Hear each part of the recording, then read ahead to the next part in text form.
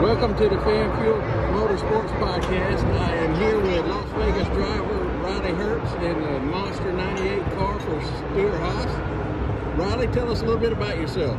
I'm from Las Vegas, Nevada, and here in beautiful Daytona International Speedway, and uh, looking for a good race today. All right, how'd you qualify? I think we qualified 10th, so not too bad, and ready to get after it. All right, what do you do in the off season for fun? Uh, just hang out with my family and friends and go back home. Go home. Yes, sir. So, do you do any other racing while you're out there in Vegas? Uh, not much, really, just relax. Just relax. All right. Well, where's your favorite restaurant to go eat at?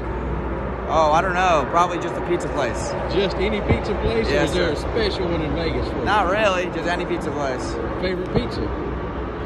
Pepperoni. Pepperoni. None with a pineapple or anything? No, sir.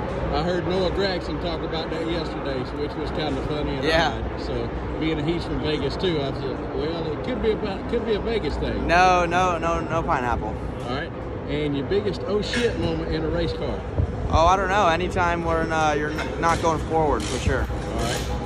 Uh, what's your plans for this year and moving forward, possibly? Uh, yeah, just racing this year in the Xfinity Series, and looking forward to it. All right. Well, good luck. Thank you. very much. Thanks.